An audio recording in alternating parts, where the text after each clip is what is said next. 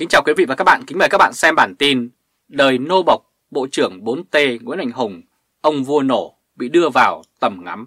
Ông Nguyễn Mạnh Hùng, một người từng tạo uy tín thương trường trên cương vị là Chủ tịch kiêm Tổng giám đốc Tập đoàn Viettel.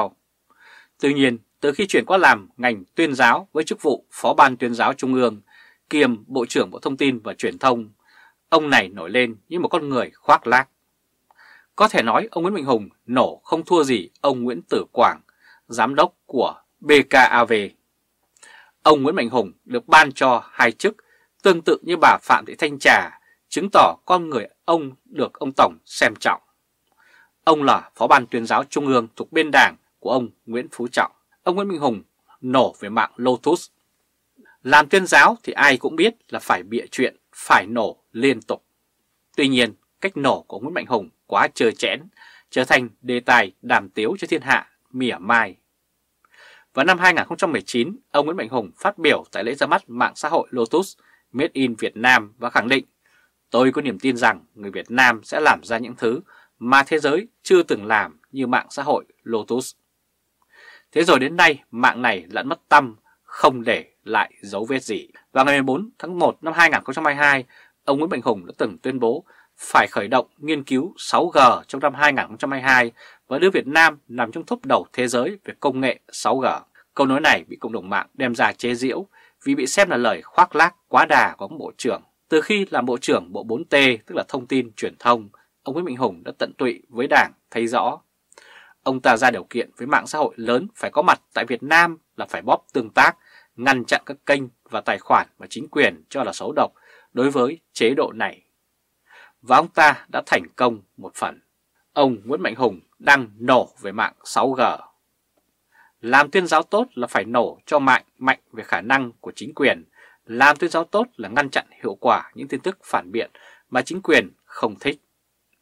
Ở hai khía cạnh này, ông Nguyễn Mạnh Hùng đã làm tốt cho Đảng trong nhiều năm. Tuy nhiên, dù tốt thế nào thì ông Nguyễn Mạnh Hùng cũng chỉ làm vai trò nô bộc. Đôi khi, người nô bộc làm tốt mà bị phạt oan, không biết lý do tại sao, vì đơn giản hắn chỉ là kẻ nô bộc mà thôi. Với vai trò nô bộc tận tụy như thế, nhưng ngày 14 tháng 4 vừa qua, tại kỳ họp lần thứ 24 của Ủy ban Kiểm tra Trung ương, ông Trần Cẩm Tú đã đưa ông Nguyễn Mạnh Hùng lên thớt. Lời của ông Trần Cẩm Tú được ghi lại như sau. Xem xét kết quả giám sát, Ủy ban Kiểm tra Trung ương nhận thấy bên cạnh những ưu điểm Ban Cán sự Đảng và đồng chí Nguyễn Mạnh Hùng, Ủy viên Trung ương Đảng, Bí thư Ban Cán sự Đảng, Bộ trưởng Bộ Thông tin và Truyền thông có một số vi phạm, khuyết điểm trong xây dựng, ban hành và tổ chức thực hiện quy chế làm việc.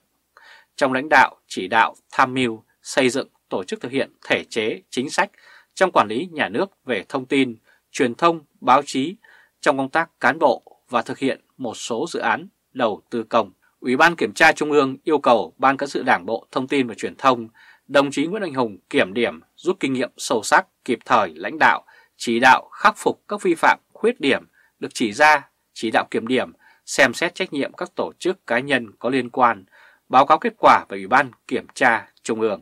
Ông Trần Cẩm Tú đã đưa ông Nguyễn Mạnh Hùng lên thớt. Như vậy là ông Nguyễn Mạnh Hùng đã bị đưa vào tầm ngắm.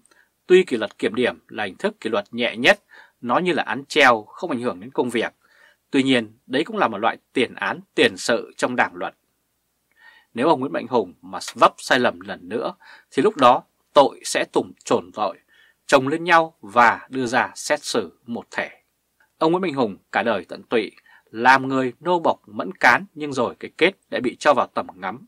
Nhất cử nhất động của bộ trưởng này sẽ không thoát khỏi mắt cú vọ của Trần Cẩm Tú. Quý vị và các bạn vừa theo dõi chương trình truyền hình trực tiếp của Lê Trung Khoa với bản tin Đôi nô bộc Bộ trưởng 4T Nguyễn Mạnh Hùng, ông vua nổ, bị đưa vào tầm ngắm. Kính chào quý vị và các bạn, kính mời các bạn xem bản tin Cuộc đua giữa Thủ tướng Chính và Tô Lâm vì nhát gan mà Tô Đại Tướng chậm tiến lên. Tô Lâm lớn hơn Phạm Minh Chính một tuổi, được xem là cùng một lứa với nhau. Cả hai đều là dân ngành công an. Vào ngày 25 tháng 4 năm 2007 khi đó, cả ông Tô Lâm và ông Phạm Minh Chính đều được phong hàm thiếu tướng. Vào ngày 16 tháng 7 năm 2010, cái ông này lại được Chủ tịch nước Nguyễn Minh Chiết thăng cấp bậc từ thiếu tướng lên trung tướng công an. Vào ngày 18 tháng 1 năm 2011, tại Đại hội Đảng Cộng sản Việt Nam lần thứ 11, cả ông Phạm Minh Chính và ông Tô Lâm đều được vào Trung ương Đảng Cộng sản Việt Nam khóa 11. nhiệm kỳ 2011-2016. Tuy nhiên, sau đó hai ông này tách ra, Phạm Minh Chính thì rẽ sang hướng khác, trong khi Tô Lâm ở lại Bộ Công an. Ông Tô Lâm, Bộ trưởng Bộ Công an Việt Nam không dám ra khỏi vùng an toàn. Vào ngày 8 tháng 8 năm 2011, ông Phạm Minh Chính ra khỏi ngành công an đến Quảng Ninh nắm chức bí thư tỉnh ủy. Và từ đây ông Phạm Minh Chính rẽ sang một hướng khác.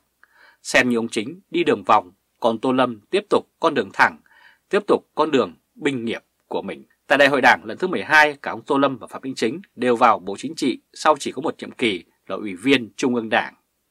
Sau khi vào Bộ Chính trị, ông Phạm Minh Chính là trưởng ban tổ chức Trung ương, còn ông Tô Lâm làm Bộ trưởng Bộ Công an. Đến giai đoạn này xem như ông Tô Lâm và ông Phạm Minh Chính ngang bằng với nhau.